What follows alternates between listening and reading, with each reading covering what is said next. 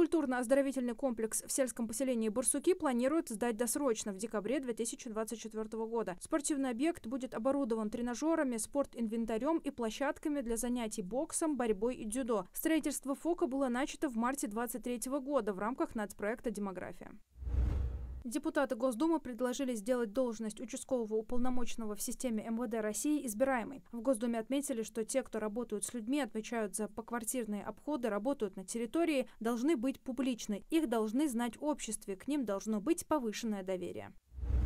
Многодетные семьи, которые получат цифровое удостоверение единого образца о своем статусе с 1 октября, смогут проще получать льготы. Достаточно будет предъявить QR-код. Цифровое удостоверение в формате QR-кода будет равноценно бумажному. Его можно будет показать, чтобы подтвердить право на льготу для многодетных семей в центрах госуслуг, социальных учреждениях или, к примеру, при покупке билета в музее в любом городе России.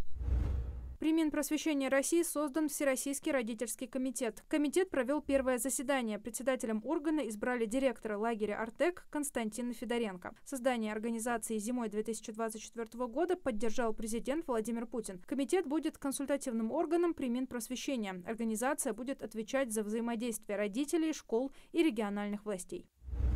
Депутаты Госдумы внесут на рассмотрение парламента законопроект о предоставлении донорам крови права на сохранение неиспользованных дней отдыха при переходе на другую работу. В проекте закона уточняется, что дни отдыха предоставляются при условии письменного уведомления работника при заключении трудового договора о наличии у него права на неиспользованные дни отдыха, предоставляемые в связи со сдачей крови. Порядок предоставления указанных дней отдыха определяется по соглашению между работником и работодателем.